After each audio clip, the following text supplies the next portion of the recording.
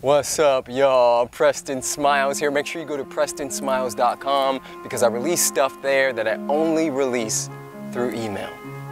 Hello from Tulum, Mexico, muy caliente, and that is why my shirt is wet. so today's transmission. There is a disease that is sweeping the nation. There is a disease that is killing more dreams than all diseases combined. And that disease, that dis-ease, is procrastination. You see, procrastination is a life-threatening disease, and there's only one cure for it. And it comes in this little antidote, I like to say. Small hinges swing big doors. You see, Rome, Tulum, Mexico, Chichen Itza, Egypt, the pyramids were not built in a day, but they were built with what they could do in a day. Grand, grand dream, big dream. Small steps daily, small bites, brick by brick by brick. And I'm here today to remind you that your dreams, your hopes, your wants, your gifts, your talents, your abilities, we need those and you're procrastinating, you're watching another uh, episode of Game of Thrones or House of Cards or any other show you're addicted to. You're opening up Snapchat or Facebook or Instagram or Twitter. All of that stuff is keeping you and us away from all that you have to offer.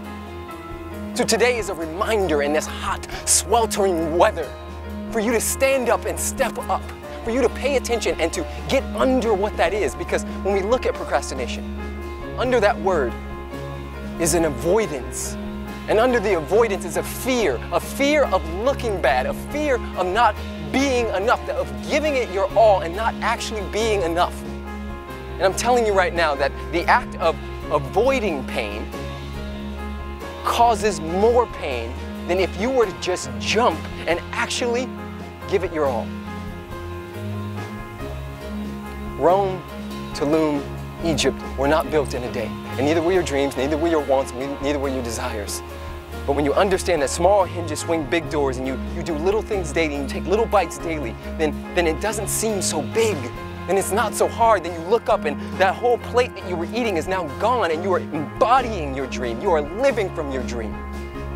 So step into that. I love you guys so much. If you are new to the tribe, if you are new to the family, to the hashtag Love's Voice family, click subscribe. Make sure you follow me on Facebook and Twitter and Instagram and all that stuff. And I only ask you to do that so we can share these messages together. Blessings and blessings is going down in a beautiful, major way. Aristotle said that we are what we repeatedly do. Excellence, therefore, is not an act, but a habit. Repetition is the mother of skill.